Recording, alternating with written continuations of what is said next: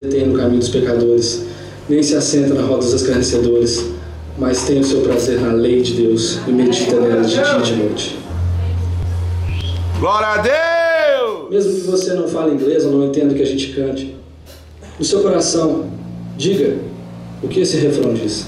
Eu quero dizer para você que eu acredito em você, que eu te amo, que mesmo que eu não consiga ver, eu acredito que o Senhor me ama.